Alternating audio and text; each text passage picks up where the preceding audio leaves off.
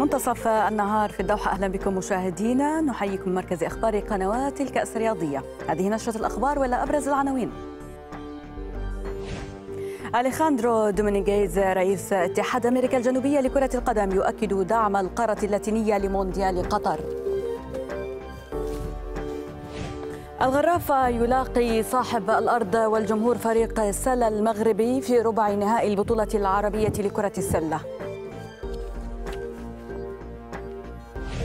النصر يواجه العروبة مساء اليوم في قمة الجولة العاشرة للدوري العماني لكرة القدم.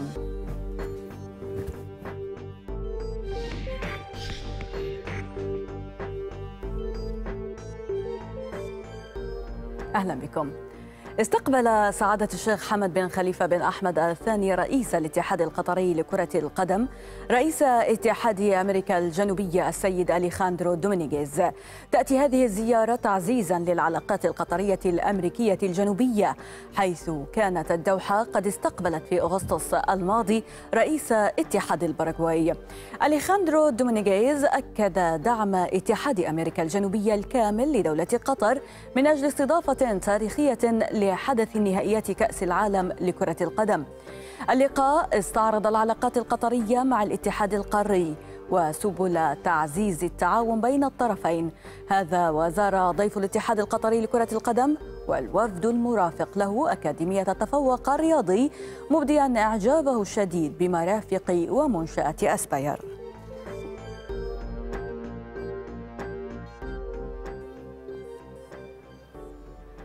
تعود مساء اليوم مباريات دوري قطر غاز ليج لأقل من 23 عاما بإقامة ثلاث مباريات لحساب الجولة الخامسة. أدحيل المتصدر يواجه الخور الرابع فيما يلعب السد ضد الريان. وستحظى هذه المباراة بنقل مباشر عبر قناة الكأس الأولى. أما اللقاء الثالث فسيجمع بين قطر والأهلي وفق البرنامج التالي.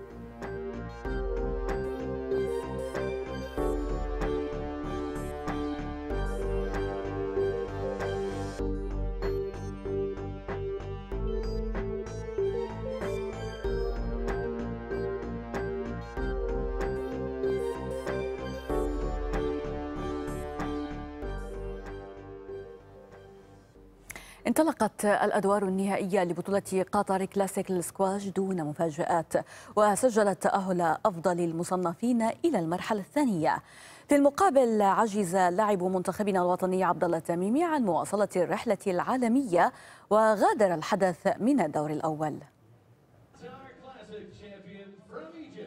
دخل محمد الشوربجي الملعب الزجاجي فاهتزت الجماهير تشجيعا لنجم سبق وتوج بلقبين في الدوحة عامي 2015 و2013 المصنف الأول عالميا سابقا والثالث حاليا. واجه الإنجليزي كريس سيمسون في أكثر مباريات اليوم الأول تشويقا. الشوربجي وصيف بطل أمريكا المفتوحة فرض قوته على مدى 36 دقيقة فائزا بثلاثة أشواط نظيفة ب 11 نقطة لسبعة ثم 11 لتسعة ف 11 نقطة لخمس لسه النهارده أول ماتش في البطولة لسه بدري اول بطوله ف يمكن الحمد لله إن ربنا وفقني. كان لعبت ماتش حلو ضد لعيب بيرجع راجع من اصابه كان لعيب top 20 زمان. ناس كتير جت شجعتنا وشجعتنا كلنا.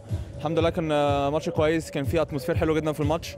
البطوله متنظمة على أعلى مستوى ف الحمد لله دايما الحمد لله برجع هنا. لعبت كل مرة رجعت هنا الحمد لله عرفت ألعب كويس فإن شاء الله اتمنى ألعب كويس السنة دي. ممثل العنابي الذي شارك ببطاقة دعوة عبد الله التميمي لم يكتب له مواصلة المشوار في قطر كلاسيك. فأمام فارس الدسوقي التاسع على العالم حاول التميمي لكنه عجز عن التأهل. سجل ست نقاط في الشوط الأول وكان قريبا من الفوز في الثاني بثمان نقاط فيما اكتفى بخمس نقاط في الشوط الثالث. التميمي السابع والثلاثون عالميا فقد أعصابه وهدوءه وغادر الملعب سريعا بعد الخسارة. عبد الله طبعا لعب لاعب هايل النهارده وكان ماتش صعب. كانش ماتش سهل. فأنا طبعا مبسوط إن أنا كسبت الماتش ده وإن أنا عديت للدور الثاني وبالنسبة بقى الماتش مع محمد طبعا هيبقى ماتش جامد أكيد. أنا ومحمد على طول بنلعب ماتشات كويسة مع بعض. على طول بتبقى ماتشات جامدة الناس كلها بتستمتع بيها فإن شاء الله نقدم حاجة كويسة للسكواش. في مباراة أخرى كان المصري علي فرج صاحب الكلمة الحسم أمام مواطنه كريم علي فتحي بطل أمريكا المفتوحة وصاحب الإنجاز العالمي الفريد مع زوجته بمعانقة اللقب الأمريكي ذاته في اليوم نفسه خاض مباراة سهلة حسمها في ثلاثة أشواط. في الملعب يعني. أنا بحاول أنسى الماضي وأنا في الملعب بحاول أفكر في اليوم بفكر نقطة بنقطة شوط بشوط ماتش بماتش. فالحمد لله النهارده قدرت ألعب بالطريقة اللي أنا كان نفسي فيها ولعبت كويس. قدام قدام خصم صعب طبعا وصديقي يعني.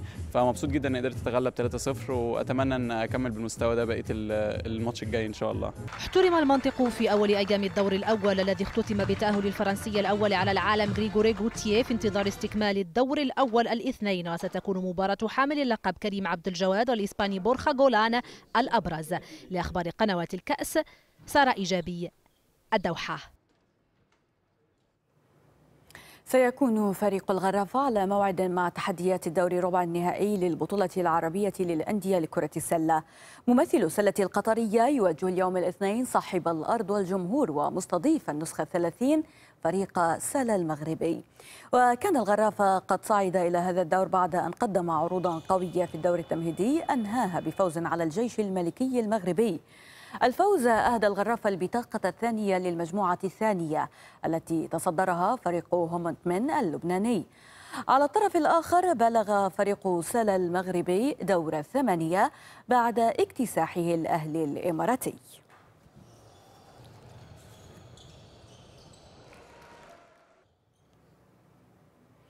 عاد كمال شداد ليتصدر المشهد بالعاصمة الخرطوم في أعقاب انتخابه رئيسا للاتحاد السوداني لكرة القدم. كمال شداد صاحب العلاقات الواسعة على الصعيدين الأفريقي والدولي. فاز في الانتخابات بعد أن نال 33 صوتا مقابل 28 لمنافسه المباشر معتصم جعفر. في أجواء مشحونة بالتوتر وبمراقبة الفيفا انعقدت الجمعية العمومية الانتخابية للاتحاد السوداني لكرة القدم لاختيار مجلس إدارة جديد لإدارة شؤون الكرة بالسودان. وحققت مجموعة الإصلاح الفوز بأغلب المقاعد وفاز البروفيسور كمال شداد برئاسة الاتحاد محققا 33 صوتا بفارق خمس أصوات عن منافسه من مجموعة تطوير معتصم جعفر. التهنئة للشعب السوداني والتهنئة للمجتمع الكروي اللي كان يحب التغيير واللي كان يحب الشغل اللي تم اليوم. وبفوق لده هو يعني ما مهم من الذي فاز آه، ولكن المهم إنه نحن أرسينا ديمقراطية جميلة جدا شهدت له الفيفا والاتحاد الإفريقي اليوم وأثبتنا للعالم إنه نحن يعني شعب راقي جدا ومعلم. آمال الجماهير التي انتظرت منذ الصباح كانت كبيرة لتعبر بطريقتها الخاصة بفوز كمال شداد.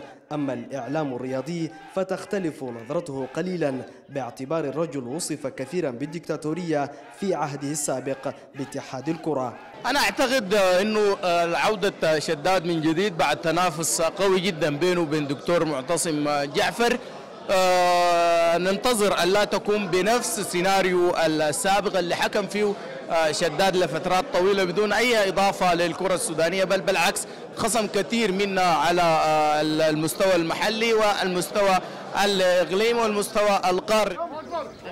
وفي سابقة تاريخية لاتحاد الكرة السوداني وجود مقعد للمرأة فازت به الإعلامية ميرفت حسين بعد منافسة قوية. أخيرا انعقدت الجمعية العمومية للاتحاد السوداني لكرة القدم وحققت مجموعة الإصلاح الفوز بمقعد رئيس الاتحاد بقيادة البروفيسور كمال شداد. ليسدل الستار على مسلسل استمر طويلا. صلاح الدين محمد علي لقنوات الكأس. الخرطوم. تنطلق اليوم الجولة العاشرة للدور العماني لكرة القدم بإقامة سبع مباريات وعيدة. قمة الجولة ستجمع بين النصر ثالث الترتيب والعروب الرابع وستكون المباراة منقولة عبر قناة الكأس الثانية. النصر سيدخل اللقاء بحثا عن انتصاره السادس هذا الموسم والثالث تواليا للاقتراب أكثر من السويق المتصدر. أما العروبة المنتشي بفوز ثمين على الشباب الوصيف في الجولة الماضية يدرك جيدا أهمية النقاط الثلاث وبالتالي لن يكون خصما سهل المنال وسيلعب كل أوراقه لتحقيق الانتصار الخامس هذا الموسم.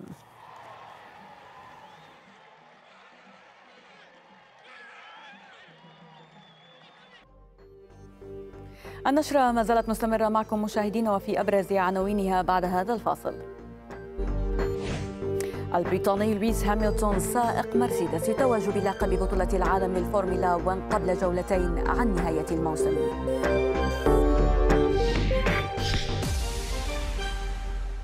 تحية من جديد.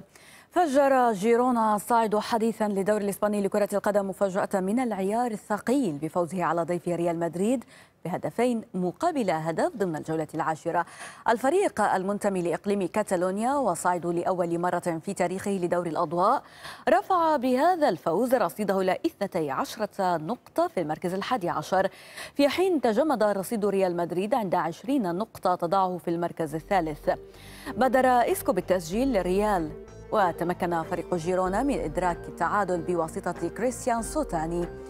قبل أن يهديه بروتو الفوز الثالث ويكبد فريق الملكي هزيمته الأولى في الليغا خارج ملعبه منذ فبراير الماضي بعد 13 مباراة بلا خسارة وهي السلسلة الأطول في تاريخه.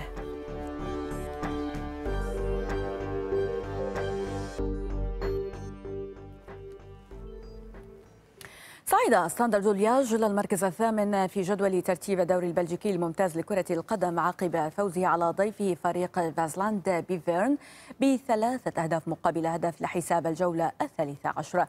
هذا الفوز جعل ستاندرد, ستاندرد لياج يرفع رصيده ل 19 نقطة بينما تراجع فاسلاند من المركز السابع إلى التاسع برصيد 18 نقطة. أورلاندو سا الذي أهدر ركلة جزاء في بداية اللقاء. افتتح التهديف برأسية محكمة في الدقيقة الثامنة والعشرين. وبعد دقيقتين أضاف بول جوزي أمبوكو الهدف الثاني لستاندرد دولياج. وقبل ثلاث دقائق عن نهاية الوقت الرسمي للشوط الأول جاء الهدف الثالث لأصحاب الأرض بتوقيع أبراهيم سيكا بالخطأ في مرماه. أما هدف الضيوف الوحيد فجاء في الدقيقة السابعة والثمانين عبر إيزاك تيلين.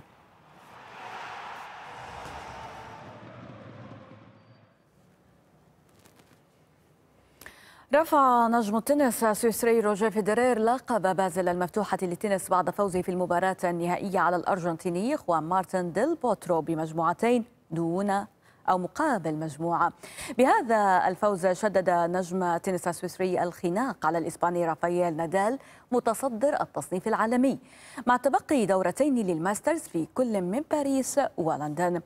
بعد البداية القوية من الأرجنتيني ديل بوترو والتقدم في المجموعة الأولى بسبعة ستة أفلح فيدرير في استعادة زمام المبادرة.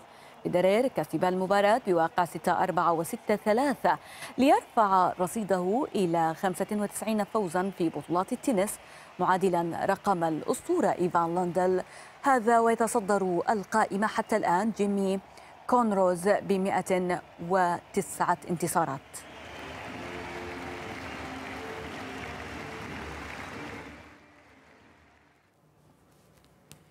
للمرة الأولى في تاريخها أحرزت المصنفة سادسة عالميا الدنماركية كارولين فوزنياكي لقب بطولة سنغافورة للماسترز المخصصة للاعبات الثمان الأوليات في جدول الترتيب. فوزنياكي أطاحت في المباراة النهائية بالأمريكية المخضرمة فينوس ويليامز لتحقق بذلك لقبها الثاني هذا الموسم بعد المحقق في العاصمة اليابانية طوكيو. بهدف تحقيق أول لقب لها في البطولة الختامية لموسم تنس السيدات. دخلت الدنماركية كارولين فوزنياكي نهائي بطولة سنغافورة وهي تحتل المركز السادس عالميا لتواجه الأمريكية فينوس ويليامز الخامسة التي لم تخسر قط أمام فوزنياكي في المواجهات السبع التي جمعت بينهما من قبل. وزنياكي بدأت المجموعة الأولى بالشكل المطلوب وكسرت إرسال منافستها مرتين في الشوطين الرابع والثامن لكنها خسرت إرسالها مرتين أيضا في الشوطين الخامس والتاسع إلا أن ذلك لم يمنعها من حسم المجموعة لصالحها بنتيجة 6-4 في المجموعة الثانية بدأ وكأن وزنياكي ستحسم المجموعة الثانية بسهولة أكبر حين تقدمت بخمسة أشواط نظيفة عقب كسرها إرسالي فينوس الثاني والرابع. لكن خبرة الأخيرة جعلتها تنتفض وتعود لأجواء اللقاء وردت بكسرين في الشوطين الخامس والتاسع لتقلص الفارق لخمسة أربعة. في الشوط العاشر حافظت فوزنياكي على تركيزها وحققت المطلوب وكسرت إرسال منافستها لتفوز بالمجموعة وبالمباراة بعد 89 دقيقة. المواجهة الثامنة هي رقم حظي. كنت أتمنى الفوز على فينوس مرة واحدة على الأقل في مسيرتي. لقد كنت متقدمة بخمسة صفر ثم بدأت ويليامز بتقديم أدائها المعهود لكني سعيدة بالفوز في النهاية. انتصار أول لوزنياكي على فينوس حققت به أول لقب لها في البطولة الختامية بعد خيبة نهائي 2010 جعلها أيضا تتقدم من المركز السادس للمركز الثالث في التصنيف الجديد. لأخبار قنوات الكأس يوسف مومن الدوحة. توج البريطاني لويس هاملتون سائق فريق مرسيدس بلقب بطولة العالم للفورمولا 1 للمرة الرابعة في تاريخه رغم دخوله تاسعا في سباق جائزة المكسيك الكبرى. فوز هاملتون باللقب وقبل جولتين عن النهاية. يعود الفضل فيه لفشل منافسه الألماني سيباستيان فيتيل سائق فيراري في الفوز بجولة المكسيك. ومن جهة أخرى نال أيضا فريق مرسيدس لقب الصانعين للمرة الرابعة تواليا عندما انطلق الألماني سباستيان فيتل سائق فريق فيراري من المركز الأول لسباق الجائزة الكبرى المكسيكي للفورمولا 1 كان يدرك أن التعثر قد يجعله يضيع اللقب الذي سينقاد باتجاه البريطاني لويس هاملتون سائق فريق مرسيدس الذي انطلق من المركز الثالث. بداية السباق شهدت اصطداما بين سيارتي فيتل وهاملتون في المنعطف الثالث. ونتيجة للحادث اضطر الاثنان بالاتجاه للمرأب وإجراء إصلاحات عاجلة ليعودا في المؤخرة. فيتل كافح ببسالة وقاد سيارته بسرعة صاروخية بعد إصلاحها ومضى ليتخطى المنافسين الواحد تلو الآخر لكنه فشل في تجاوز ثلاثي المقدمة لينهي السباق في المركز الرابع. فيما فاز ماكس فيرستيبن بالسباق متبوعا بالفنلنديين فالتيري بوتاز وكيمي رايكونين. أما لويس هاملتون فدخل في المركز التاسع وأضاف نقطتين رافعا رصيده إلى 330 نقطة بينما لم تشفع الاثنتا عشرة نقطة التي كسبها فيتل بإبقائه في المنافسة حيث بات متخلفا ب 56 نقطة عن هاملتون بينما لا توجد سوى 50 نقطة متاحة في آخر سباقين في الموسم. ليس المهم كم تحقق من توقيت المهم أن تتمتع بالمثابرة وأن تسعى إلى التتويج وذلك ما تحقق. لويس هاملتون عقب هذا التتويج أصبح أول سائق بريطاني يفوز بلقب الفورمولا 1 أربع مرات متخطيا بذلك السائق الشهير جاكي ستيوارت والقادم قد يكون أفضل. لمركز أخبار قنوات الكأس عمر قحطان الدوحة. وقبل استكمال أخبارنا العالمية نتوقف عند أهم محاور قضية رأي عام التي تأتيكم مباشرة بعد هذه النشرة رفقة جاسم حسين جاسم ماذا لديكم في قضية رأي عام؟ صباح الخير. لنا وكل مشاهدي قنوات الكاس بالفعل قضية رأي عام اليوم التي تصدر الاهتمام سيكون عنوانها رفع الحظر على الملاعب العراقية. حلم طال انتظاره واقترب ضيوف. رسميون سينضمون إلينا في الاستديو عبر الأقمار الصناعية في سياق الحلقة بعد قليل. عودة لنا لمتابعة النشرة لا تذهبوا بعيدا.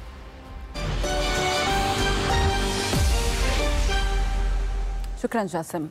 أجل الإيطالي أندري دوفيتسيوزو تتويج الإسباني مارك ماركيز باللقب العالمي لسباق الدراجات النارية بعد فوزه بالمرحلة السابعة عشرة وقبل الأخيرة في قلب حلبة سيبانج الماليزية. ماركيز الذي احتل المركز الرابع والمتربع على صدارة الترتيب العام سيكون مطالبا بموقع ضمن المراكز الأحد عشر الأولى على الأقل في المرحلة الأخيرة المقررة في فالنسيا من أجل التتويج باللقب العالمي. في أجواء ماطرة أجل الإيطالي أندري دوفيتسيوزو متسابق دوكاتي تتويج الإسباني مارك ماركيث باللقب العالمي لسباق الدراجات النارية عندما فاز بالمرحلة السابعة عشر وما قبل الأخيرة بماليزيا. دوفيتسيوزو مدد الإثارة إذا بعدما تألق على حلبة سيبانج الماليزية ومنح التنافس على اللقب نفسا جديدا بعد أن احتل الإسباني ماركيز متصدر الترتيب العام المركز الرابع ليقلص بذلك سائق دوكاتي الفارق بينه وبين المتصدر إلى 21 نقطة قبل نهاية الموسم بسباق واحد.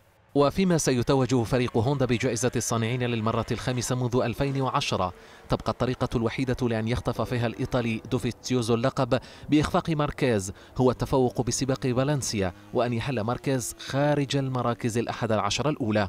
وبالعودة لجائزة ماليزيا فقد حل زميل دوفيستيوزو في فريق دوكاتي داني بيدروسا في المركز الثاني بعد أن بدأ في المركز الأول بينما جاء الفرنسي يوهان زاركو في المركز الثالث. وفي فئة موتو اثنان توج فرانكو موربيديلي باللقب بعد غياب منافسه توماس لوتي عن السباق. موربيديلي حل في المرتبة الثالثة وفاز بسباق الجنوب أفريقي براد بندر وحل البرتغالي ميغيل أوليفيرا في المركز الثالث. وفي فئة الموتو الثلاثة حقق الإسباني خوان مير لقب بطولة العالم بعد أن فاز بالسباق العاشر له هذا الموسم.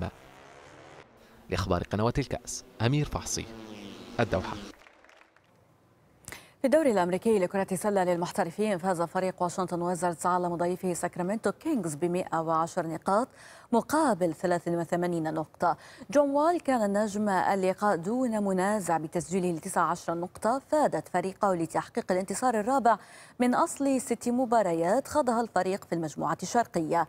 الضيوف أنهوا الربع الأول لمصلحتهم بنتيجة 35 نقطة مقابل 16 وانتهى النصف الأول لمصلحة واشنطن ويزردز بفارق 31 نقطة. ورغم استفاقة أصحاب الأرض في الربعين الثالث والرابع إلا أن الضيوف حسموا اللقاء لصالحهم ليتقدموا للمركز الثالث برصيد عشر نقاط.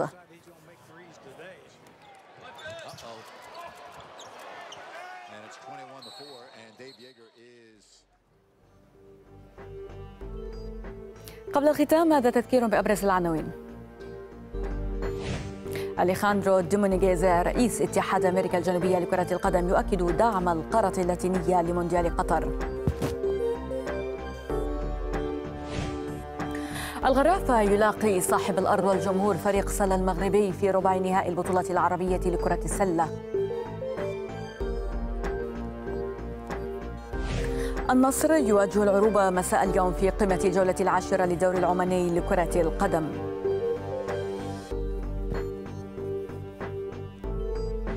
والبريطاني لويس هاملتون سائق مرسيدس يتوج بلقب بطولة العالم للفورمولا 1 قبل جولتين عن نهاية الموسم.